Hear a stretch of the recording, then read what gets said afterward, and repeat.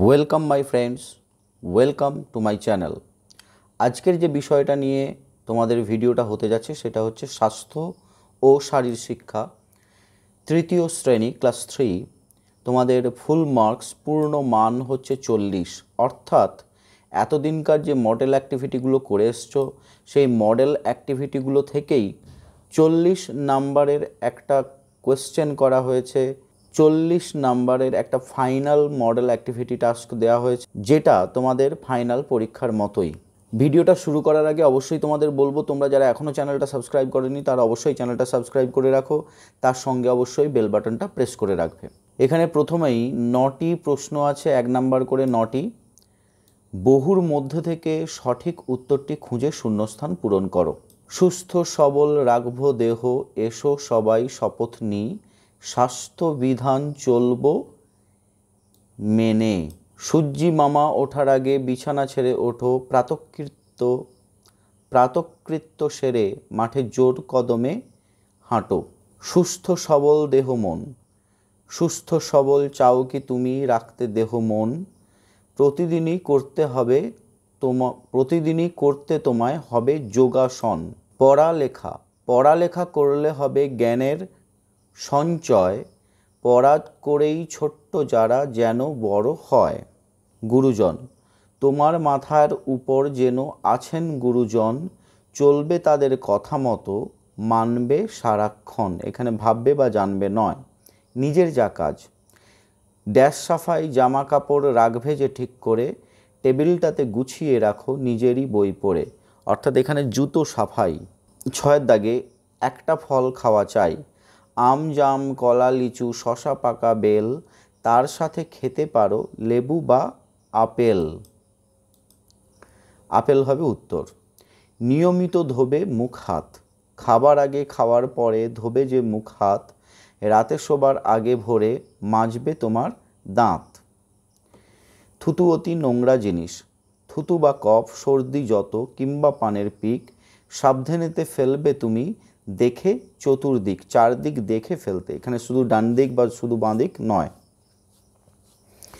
এখানে চারটে করে অপশান দেওয়া হয়েছে আবার।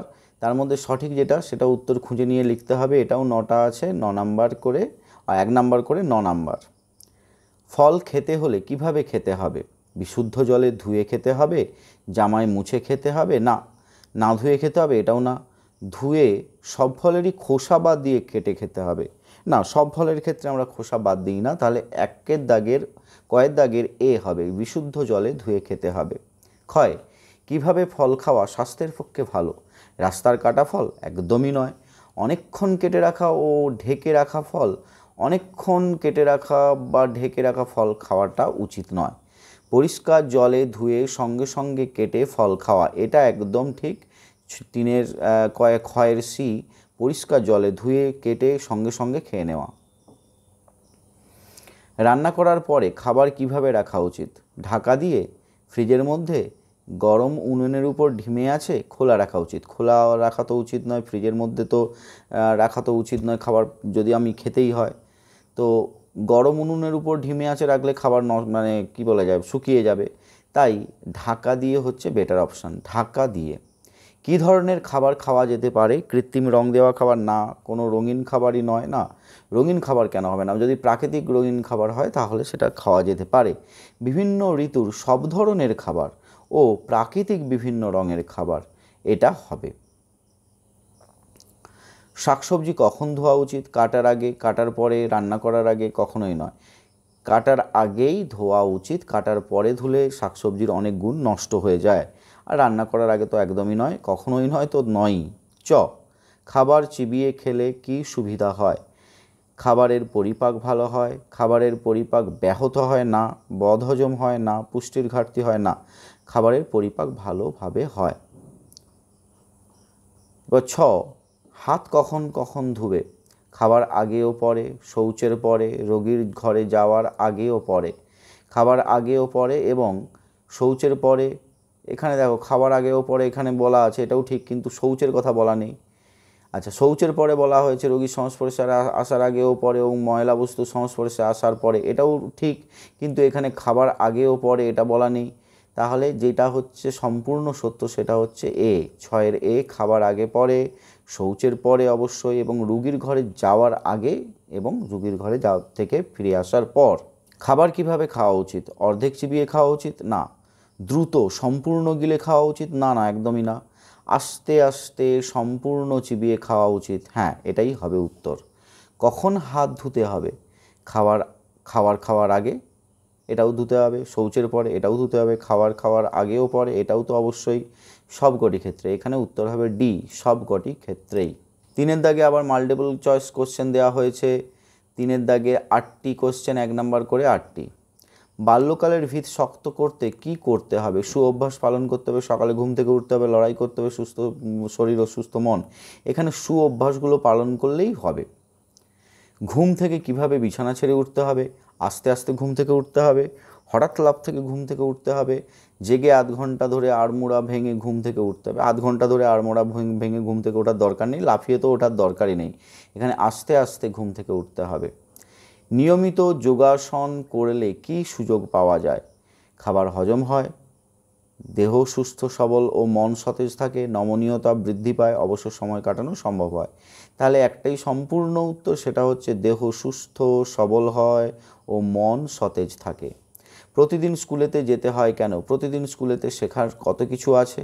খেলা করা যায়, শুধুই কি খেলা করা? না, বাড়িতে থাকলেই সারাদিন পড়তে হয় তাই না, এটা তো নয় মিড ডে মিল শুধু পাওয়া যায়, এটাও তো নয়। তাহলে প্রতিদিন স্কুলেতে শেখার কত কিছু আছে? গুরুজন কারা? যারা আমাদের শিক্ষক? বাবা, মা, ঠাকুরদা ও ঠাকুরমা? বাবা, মা, পরিচিত ও অপরিচিত, যারা বয়সে বড়, তাহলে এটাই হবে আসল উত্তর। যারা পরিচিত এবং অপরিচিত, যারা বয়সে বড়, তার মধ্যে শিক্ষক, বাবা, মা, ঠাকুরদা এবং অপরিচিত ব্যক্তিরাও পড়বে। তোমার কাছে দামি বস্তু কোনটি? হিরে, সোনা, সময়, জীবন। আমার কাছে সবচেয়ে দামি হচ্ছে জীবন। এখানে ছয়ের দাগেরটা ছেড়ে গেছি। রাত্রে ঘুমানোর সময় পরে থাকা পোশাক বদল না করলে কি ক্ষতি হতে পারে? কৃমি বা রোগ জীবাণু ওই আমাদের মাধ্যমে ছড়িয়ে পড়তে পারে, দুর্গন্ধ ছড়াতে পারে, এটাও ঠিক, এটাও আংশিকভাবে ঠিক, রোগ জীবাণু ও দুর্গন্ধ ছড়াতে পারে, এটাও ঠিক। রোগ জীবাণু, দুর্গন্ধযুক্ত পোশাক বদল না করলে স্বাস্থ্যের ক্ষতি হতে পারে, এটা হচ্ছে সবচেয়ে বেটার অপশান তাহলে এগুলো সব ঠিক, কিন্তু সবচেয়ে বেটার যেটা অপশানটা সেটাকেই তোমাকে চুজ করতে হবে? তো দাঁত ও মুখ কখন পরিষ্কার করতে হবে? শুধুমাত্র সকালবেলায়? শুধুমাত্র রাত্রেবেলায়? এর দুটোই আংশিক। এখানে সকালবেলা, কিন্তু রাত্রেবেলাতেও করতে হবে। সকালেও রাত্রে। এবং সকালে রাত, দুপুরে রাত্রে ও ভারী কিছু কোনো কিছু খাবার পরে।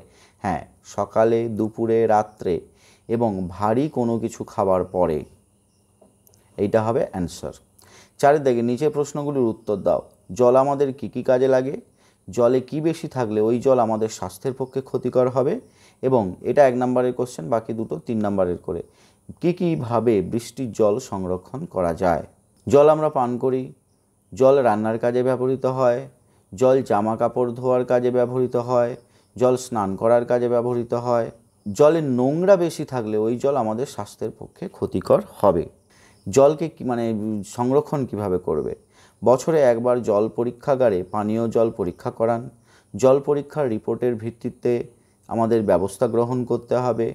বৃষ্টির জলের বিভিন্ন ব্যবহার করতে হবে। বৃষ্টির জল ধরে রেখে তিন বা চার মাস জল সাশ্রয় করা যায়।